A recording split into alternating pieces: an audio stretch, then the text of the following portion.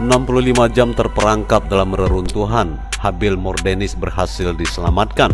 Seorang pria akhirnya dapat diselamatkan di kota Malatya, Turki setelah terperangkap selama 65 jam di bawah reruntuhan beton usai gempa dahsyat melanda wilayah tersebut.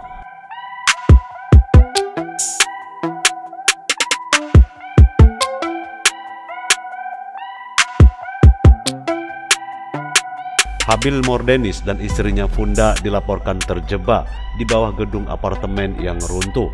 Habil dapat diselamatkan dari puing-puing usai adanya upaya penyelamatan bersama tim bantuan bencana sukarelawan dan unit militer.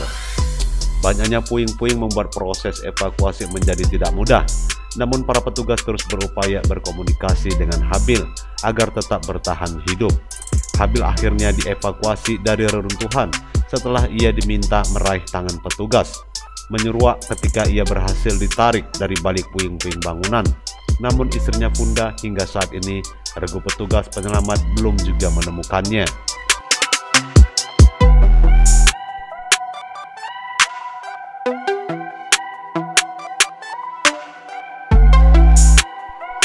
Gempa berkekuatan magnitudo 7,8 terjadi pada Senin 6 Februari 2023 Bukan hanya sekali, bencana alam gempa diikuti dengan gempa susulan yang membentang ratusan kilometer melintas tenggara Turki dan Suriah.